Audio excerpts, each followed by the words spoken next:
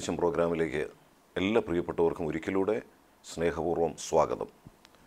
നാം ഈ നാളുകളിൽ ഈ പ്രോഗ്രാമിൽ എബ്രായ ലേഖന പഠന പരമ്പരയാണല്ലോ നടത്തിക്കൊണ്ടിരിക്കുന്നത്. കഴിഞ്ഞ ക്ലാസ്സുകളിലൊക്കെ ഞാൻ ആവർത്തിച്ച് ഓർപ്പിച്ചതുപോലെ യേശുക്രിസ്തുവിന്റെ മഹത്വം the supremacy of our lord Jesus Christ അത് ഏറ്റവും അധികം വർണിക്കപ്പെട്ടിട്ടുള്ള ബൈബിളിലെ പുസ്തകമാണ് എബ്രായ ലേഖനം. കഴിഞ്ഞ ക്ലാസ്സുകളിൽ പഴയ നിയമത്തിലെ പല കഥാപാത്രങ്ങളുമായും പല നിഴലുകളുമായും ഒക്കെ താരതമ്യം ചെയ്തുകൊണ്ട് നാം അത് മനസ്സിലാക്കി. ഇപ്പോൾ നാം എത്തി നിൽക്കുന്നത് പതിനൊന്നാം അധ്യായത്തിലാണ്. പതിനൊന്നാം അധ്യായത്തിലെ വിഷയം വിശ്വാസ വീരന്മാരുടെ വിശ്വാസം വിശ്വാസത്തിന്റെ പ്രവൃത്തികൾ എന്നുള്ളതാണ്. ആദ്യ വാക്യത്തിൽ തന്നെ എന്താണ് വിശ്വാസം? ആ വിഷയത്തിന്റെ ഒരു നിർവചനം നാം കാണുകയുണ്ടായി. പിന്നീട് പതിനൊന്നാം അധ്യായത്തിൽ മുഴുവനായിട്ടും ആ വിശ്വാസം പ്രാവർത്തികമാക്കിയ വിശ്വാസ വീരന്മാരുടെ ചരിത്ര സംഗ്രഹം ആണ് നമുക്ക് ലഭിക്കുന്നത്. അതിൽ ഒന്ന് രണ്ടെണ്ണം കഴിഞ്ഞ ക്ലാസ്സുകളിൽ നാം ചിന്തിക്കുകയുണ്ടായി. ആദ്യം പറഞ്ഞിരിക്കുന്ന ഹാബേലിന്റെ വിശ്വാസത്തെക്കുറിച്ച് വിശ്വാസത്തിന്റെ യാഗം. രണ്ടാമത് ഹാനൂക്കിന്റെ വിശ്വാസത്തെക്കുറിച്ച് നാം കണ്ടു വിശ്വാസത്തിന്റെ നടപ്പ്.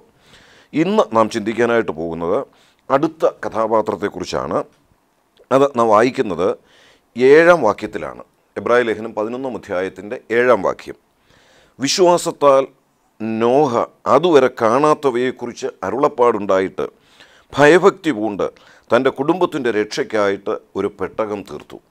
അതിനാൽ അവൻ ലോകത്തെ കുറ്റം വിധിച്ച് വിശ്വാസത്താലുള്ള നീതിക്ക് അവകാശിയായി തീർന്നു.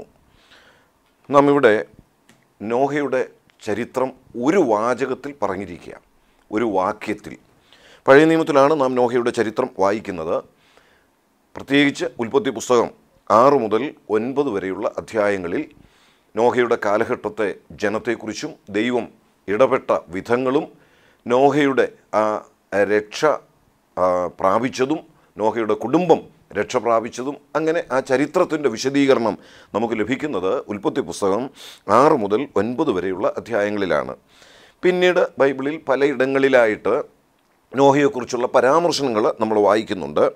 നോഹയുടെ നീതിയെക്കുറിച്ച് എഹസ്കേൽ പ്രവാചകൻ പറയുന്നത് എഹസ്കേലിന്റെ പുസ്തകം പതിനാലാം അധ്യായത്തിൽ അതിന്റെ പതിനാല് മുതൽ ഇരുപത് വരെയുള്ള വാക്യങ്ങളിൽ നമ്മൾ വായിക്കുന്നുണ്ട്.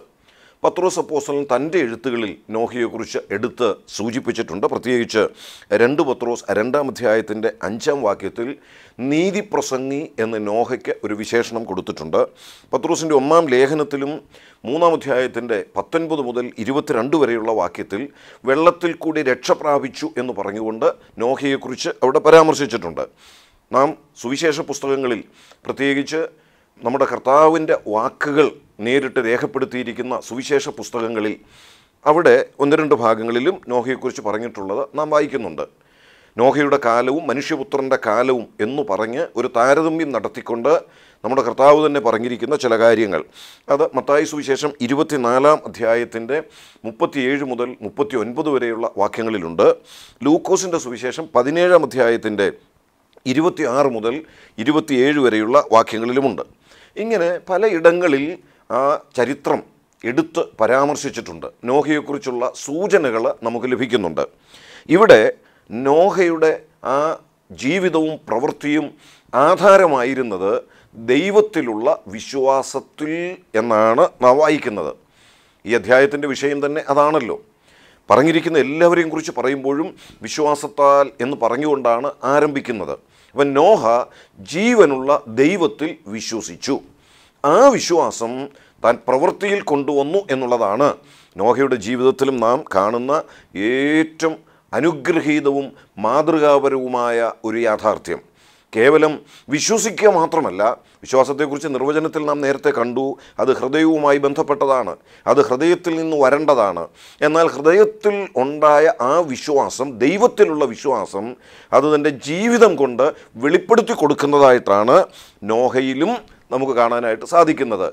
ഈ അധ്യായത്തിൽ പറഞ്ഞിട്ടുള്ള പഴയ നിയമ കഥാപാത്രങ്ങൾ എല്ലാവരിലും അതങ്ങനെ തന്നെയാണ്.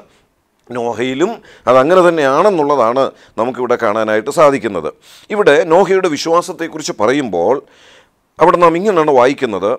വിശ്വാസത്താൽ നോഹ അതുവരെ കാണാത്തവയെക്കുറിച്ച് അരുളപ്പാടുണ്ടായിട്ട് അപ്പം നോഹ വിശ്വസിച്ചത് എന്താ പഴയ നിയമത്തിന്റെ ചരിത്രത്തിൽ അതുണ്ട് ഉൽപ്പത്തി പുസ്തകത്തിൽ ഞാൻ പറഞ്ഞ വേദഭാഗങ്ങളിൽ വായിച്ചാൽ അത് നമുക്ക് കാണാനായിട്ട് കഴിയും.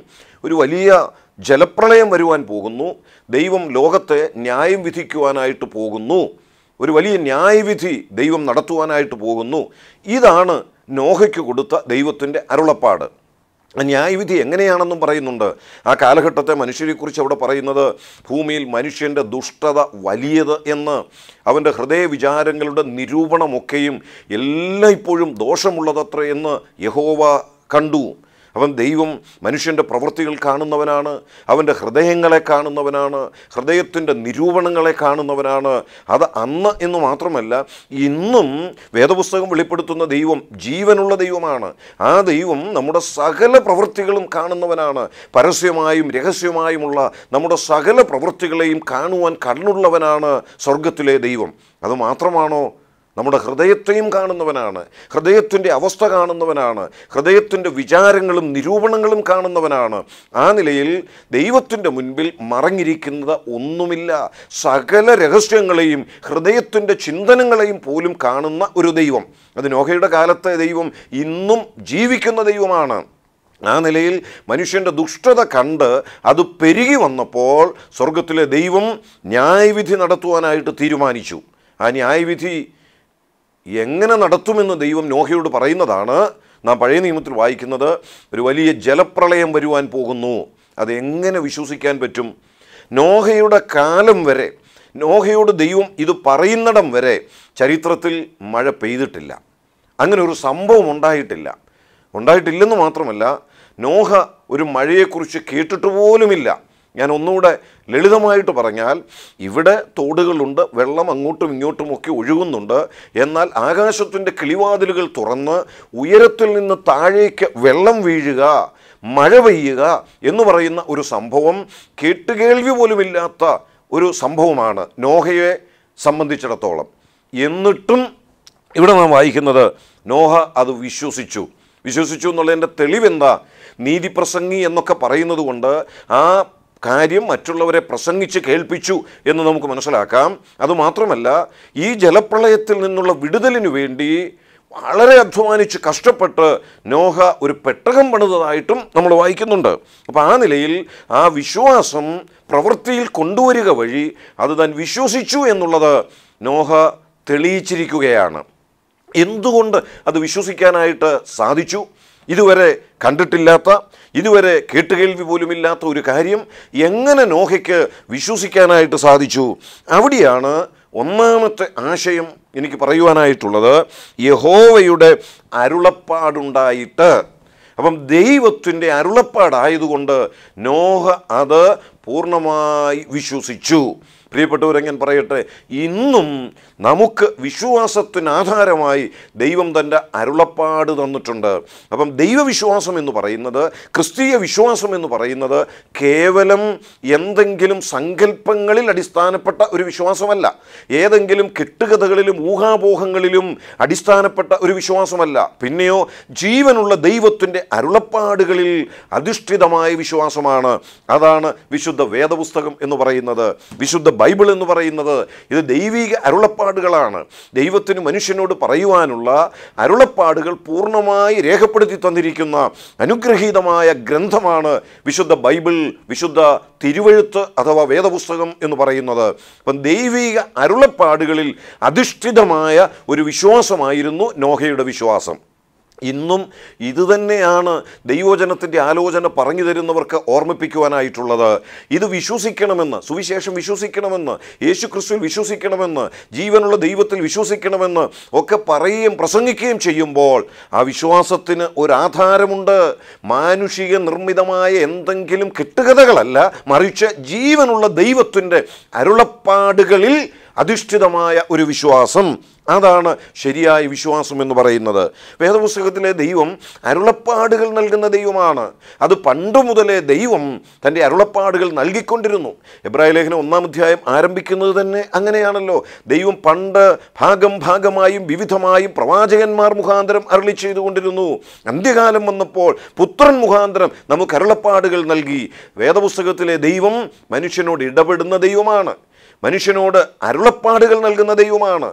തന്റെ അരുളപ്പാടുകൾ അറിയിച്ചിട്ടുള്ള ദൈവമാണ്. ആ അരുളപ്പാടുകളുടെ പൂർണ രൂപമാണ് വിശുദ്ധ വേദപുസ്തകം എന്ന് പറയുന്നത്. ഇന്ന് പഴയ നിയമ കാലത്തിലേതുപോലെ ഭാഗികമായോ അല്ല വിവിധ നിലകളിലോ ഉള്ള അരുളപ്പാടുകളല്ല ഇന്ന് പുതിയ ദർശനങ്ങളിലൂടെയോ സ്വപ്നങ്ങളിലൂടെയോ ഉള്ള അരുളപ്പാടുകളല്ല മറിച്ച് ദൈവിക അരുളപ്പാടുകൾ അത് പൂർണമായി നമുക്ക് രേഖപ്പെടുത്തി തന്നിരിക്കുന്നതാണ്. അറുപത്തിയാറ് പുസ്തകങ്ങൾ ചേർത്ത ഒരു പുസ്തകമായ വിശുദ്ധ ബൈബിൾ എന്ന് പറയുന്നത്. ഇത് ദൈവിക അരുളപ്പാടുകളുടെ സമാഹാരമാണ്. മനുഷ്യർ അറിയേണ്ട എല്ലാ കാര്യങ്ങളും ദൈവം ഇതിനകത്താണ് രേഖപ്പെടുത്തി തന്നിരിക്കുന്നത്. അപ്പം വേദപുസ്തകത്തിലെ ദൈവം അരുളപ്പാടുകളുടെ ദൈവമാണ്. ദൈവം നോഹയ്ക്ക് അരുളപ്പാടുകൾ കൊടുത്തു. അത് നോഹ വിശ്വസിച്ചു. രണ്ടാമത്തെ പ്രത്യേകത നാം അവിടെ കാണുന്നത് നോഹയ്ക്ക് അരുളപ്പാട് കിട്ടി എന്ന് മാത്രമല്ല ഭയഭക്തി പൂണ്ട് തന്റെ കുടുംബത്തിന്റെ രക്ഷയ്ക്കായി പ്രവർത്തിച്ചു. അപ്പം ഭയഭക്തി യഹോവ ഭക്തി ദൈവത്തിലുള്ള ഭക്തിയോടെ അതിന് ഭയം എന്നൊരു വാക്ക് ചേർത്തിട്ടുണ്ട്. വേദപുസ്തകത്തിൽ നാം ഇങ്ങനെ വായിക്കുന്നുണ്ട്. യഹോവ ഭക്തി ജ്ഞാനത്തിന്റെ ആരംഭമാകുന്നു. Fear of the lord is the beginning of wisdom ദൈവഭയം ദൈവഭക്തി ഇതെല്ലാം ഏകദേശം ഒരേ ആശയം തന്നെയാണ് നോഹയെ സംബന്ധിച്ചിടത്തോളം ദൈവിക അരുളപ്പാടുകൾ വിശ്വസിച്ചിട്ട് അത് പ്രവൃത്തിയിൽ കൊണ്ടുവന്നത് വളരെ ഭയത്തോടെയാണ് വളരെ ഭക്തിയോടെയാണ് ഒരു ദൈവപൈതലിനെ സംബന്ധിച്ച് ആവശ്യമായിരിക്കുന്നത് അതുതന്നെയാണ്. ഭയഭക്തി ദൈവത്തോടുള്ള ഭയം ദൈവത്തിലുള്ള ഭക്തി. അവിടെ ഭയം എന്ന വാക്ക് കേവലം ഞാനും നിങ്ങളും ചിന്തിക്കുന്നത് പോലെ പേടി എന്നുള്ള ആശയത്തിലല്ല. മറിച്ച് അതിനകത്ത് ആ ബഹുമാനം കൊടുത്തുകൊണ്ടുള്ള ഒരു ഭയത്തെ സൂചിപ്പിക്കുന്നത് ഇത് ദൈവമാണ്. ദൈവസന്നിധിയിലേക്ക് ഞാൻ കടന്നു ചെല്ലുമ്പോൾ ശ്രദ്ധിക്കേണ്ട ഒത്തിരി കാര്യങ്ങളുണ്ട്. ദൈവം വിശുദ്ധനാണ്. ആ വിശുദ്ധന്റെ അരികിലേക്ക് അശുദ്ധിയോടെ ഞാൻ കടന്നു ചെല്ലുവാൻ പാടില്ല. ദൈവം മഹത്വധാരിയാണ്. ആ ദൈവത്തിന്റെ അടുക്കിലേക്ക് ഞാൻ എങ്ങനെയും കടന്നു ചെല്ലാവുന്നവനല്ല. ആ ഒരു ചിന്തയും ബോധവും ആ ഭയം ദൈവസന്നിധിയിലേക്ക് അടുക്കുമ്പോൾ നമുക്കുണ്ടായിരിക്കണം. ആ ഭയം ഉണ്ടെങ്കിൽ മാത്രമേ നമ്മുടെ വിശ്വാസം നമുക്ക് പ്രവൃത്തിയിൽ കൊണ്ടുവരുവാനുള്ള ഒരു മനസ്സും ഉണ്ടാവുകയുള്ളൂ. അവിടെ നാം ശ്രദ്ധിക്കേണ്ട ഒരു കാര്യം ദൈവഭയം ഏതു മനുഷ്യനെയും ദൈവത്തോട് കൂടുതൽ കൂടുതൽ അടുപ്പിക്കുന്നു എന്നുള്ളതാണ് നമ്മൾ മറ്റെന്തെങ്കിലും ഒക്കെയാണ് ഭയപ്പെടുന്നതെങ്കിൽ അവിടെ നിന്ന് ഓടി രക്ഷപ്പെടാനാണ് ശ്രമിക്കുക. അതിൽ നകന്നകന്നു പോകാനാണ് നാം ശ്രമിക്കുക. എന്നാൽ ദൈവഭയത്തിന് മാത്രമുള്ള പ്രത്യേകത ദൈവഭയം ഏതൊരു വ്യക്തിയെയും ദൈവത്തോട് കൂടുതൽ കൂടുതൽ അടുപ്പിക്കുന്നു എന്നുള്ളതാണ്. ഇവിടെ നോഹ ഭയഭക്തി പൂണ്ട്. മൂന്നാമത്തേത് തന്റെ കുടുംബത്തിന്റെ രക്ഷയ്ക്കായി പ്രവർത്തിച്ചു എന്ന് നാം വായിക്കുന്നു. അത് പെട്ടകം പണിയിലൂടെയാണ് വെളിപ്പെട്ടത്. തന്റെ കുടുംബത്തിന്റെ രക്ഷയ്ക്കായി പ്രവർത്തിച്ചു. വാസ്തവത്തിൽ ആ പെട്ടകം പണിതത് എന്തിനു വേണ്ടിയാണ് ജനത്തോടെല്ലാം അറിയിച്ചു ജലപ്രളയം വരാൻ പോകുന്നു. ഇതിനകത്ത് കയറിയാൽ രക്ഷപ്പെടാം. ആർക്കും കയറി രക്ഷപ്പെടാൻ ഒരു അവസരം തുറന്നു കൊടുത്തതാ. പക്ഷേ ആരും കയറിയില്ല. നോഹയുടെ അധ്വാനം നോഹയുടെ പ്രസംഗം അനേകർ കേട്ടെങ്കിലും അവരാരും അതിനോട് വിശ്വാസത്താൽ പ്രതികരിച്ചില്ല. നോഹയും കുടുംബവും അതിനകത്തു കയറി രക്ഷപ്പെട്ടു. അതുകൊണ്ട് അവിടെ എഴുതിയിരിക്കുക തന്റെ കുടുംബത്തിന്റെ രക്ഷയ്ക്കായിട്ട് ഒരു പെട്ടകം തീർത്തു. ഞാൻ ഒരു കാര്യം അതിൽ നിന്ന് ഇങ്ങനെ പറയട്ടെ വളരെയേറെ അധ്വാനം കഴിച്ചെങ്കിലും വളരെ കഷ്ടപ്പാടുകൾ കഴിച്ചെങ്കിലും വളരെ പ്രസംഗിച്ചു എങ്കിലും നോഹയുടെ അധ്വാനത്തിന് ഫലമുണ്ടായി. എന്താ ഫലം? നോഹ പണിത പെട്ടകത്തിനകത്ത് കയറി താനും തന്റെ കുടുംബവും രക്ഷ പ്രാപിച്ചു എന്നുള്ളത്. തന്റെ കുടുംബത്തോടുള്ള ബന്ധത്തിൽ നോഹയുടെ ശുശ്രൂഷകൾ ഫലം കണ്ടു. ഇത് നമ്മുടെയും ജീവിതത്തിൽ അത്യന്താപേക്ഷിതമാണ്. ദൈവം നമുക്കൊക്കെ കുടുംബം തന്നിട്ടുണ്ട് ബന്ധങ്ങൾ തന്നിട്ടുണ്ട് ഉത്തരവാദിത്തങ്ങൾ തന്നിട്ടുണ്ട് കടപ്പാടുകൾ തന്നിട്ടുണ്ട്. നമ്മുടെ മക്കളെയും നമ്മുടെ പ്രിയപ്പെട്ടവരെയും ദൈവ വഴികളിൽ പരിശീലിപ്പിക്കുവാൻ ദൈവിക ആലോചനകൾ പറഞ്ഞു കൊടുക്കുവാൻ നാം എത്രമാത്രം സമയം കണ്ടെത്തുന്നുണ്ട്. അത് നമ്മുടെ ജീവിതത്തിലൂടെ തെളിയുമ്പോഴാണ് നമ്മുടെ കുഞ്ഞുങ്ങൾ നാം പറയുന്നത് സത്യമാണെന്ന് അംഗീകരിക്കുവാനും ആ പാത പിന്തുടരുവാനും ഇടയായിത്തീരുന്നത്. പ്രിയപ്പെട്ടവരെ ഞാൻ പറയട്ടെ ദൈവ വഴികളിൽ നമ്മുടെ മക്കളെ തലമുറകളെ വളർത്തുവാനും പരിശീലിപ്പിക്കുവാനും നമുക്ക് കഴിയുന്നില്ല എങ്കിൽ നാളെ നാം വിലപിക്കേണ്ടി വരും നാളെ നാം ദുഃഖിക്കേണ്ടി വരും. വളരെ ദീർഘമായ കഷ്ടപ്പാടും അധ്വാനവും ഒക്കെ കഴിച്ചെങ്കിലും നോഹയ്ക്ക് ആ കാര്യത്തിൽ ചാരിതാർത്ഥ്യമുണ്ട്. എന്താണ്? തന്റെ കുടുംബം ഈ പെട്ടകത്തിനകത്തുണ്ട്. തന്റെ മക്കൾ ഈ പെട്ടകത്തിനകത്തുണ്ട്. യോശുവയെക്കുറിച്ച് നാം അത് തന്നെ വായിക്കുന്നുണ്ട്. ഞാനും എന്റെ കുടുംബവുമോ ഞങ്ങൾ യഹോവയെ സേവിക്കും. ഒരു പ്രത്യേക പശ്ചാത്തലത്തിലാണല്ലോ അത് പറയുന്നത്. യോശുവ ഇസ്രായേൽ ജനത്തിന് നിർദ്ദേശങ്ങൾ കൊടുക്കുക പ്രബോധനങ്ങൾ കൊടുക്കുക.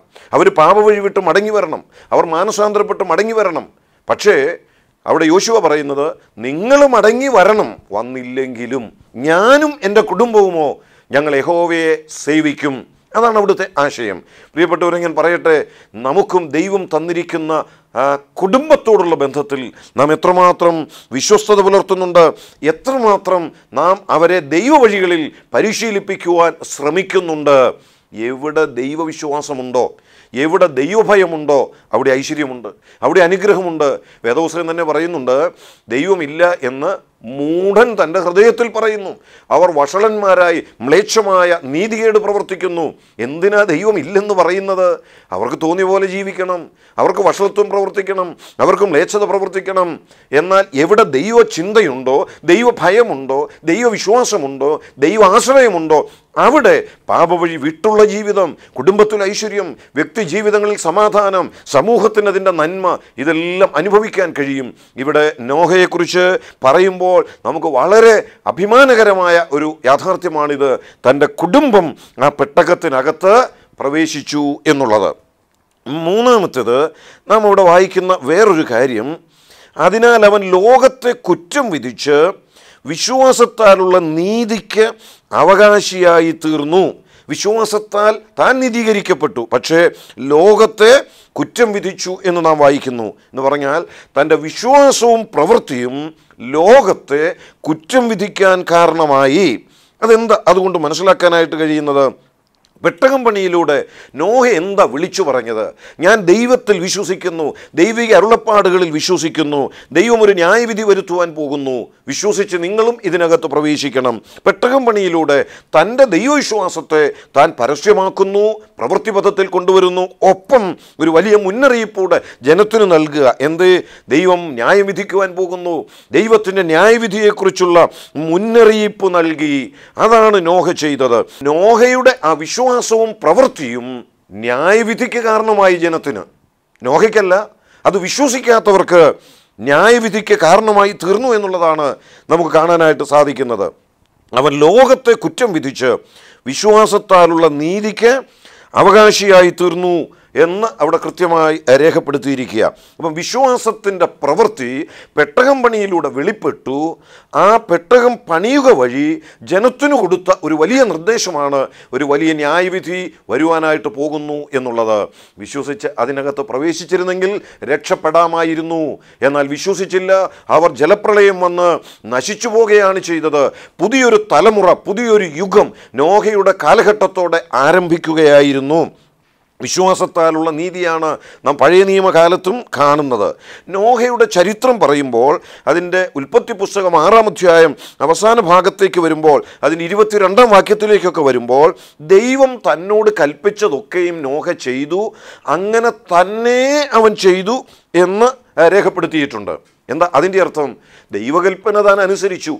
അതങ്ങനെ തന്നെ ചെയ്തു എന്ന് പറയുമ്പോൾ അതിന്റെ അർത്ഥം അതിനോട് അല്പം പോലും കൂട്ടുകയോ കുറയ്ക്കുകയോ ചെയ്തില്ല. അതിൽ നിന്ന് അല്പം പോലും അങ്ങോട്ടോ ഇങ്ങോട്ടോ വ്യതിചലിച്ചില്ല. ദൈവീക കൽപ്പനകളും ദൈവീക പ്രമാണങ്ങളും ഉള്ളതുപോലെ അനുസരിച്ച ഒരു വ്യക്തിയായി നോഹയെ നമുക്കവിടെ കാണുവാനായിട്ട് സാധിക്കും.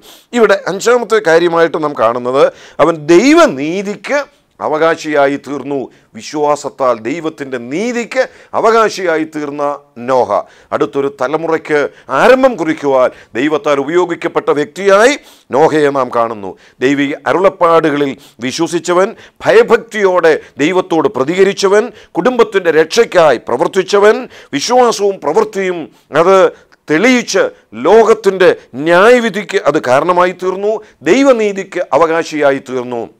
എന്താ ഇതൊക്കെ സൂചിപ്പിക്കുന്നത്? നോഹയുടെ ചരിത്രം അത് വേദപുസ്തകത്തിലുണ്ട്. അനേക പാഠങ്ങൾ നമുക്ക് നൽകുന്നുമുണ്ട്. എന്നാൽ ഒരു കാര്യം കൂടെ പറയട്ടെ.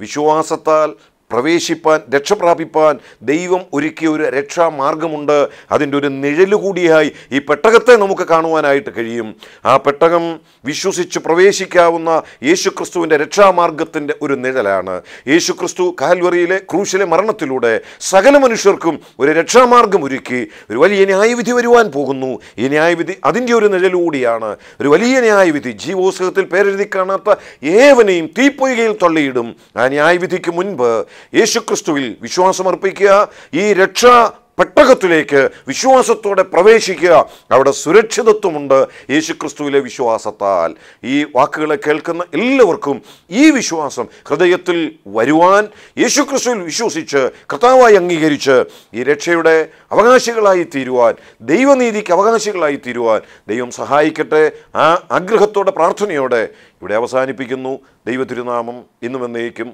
വാഴ്ത്തപ്പെടുമാറാകട്ടെ.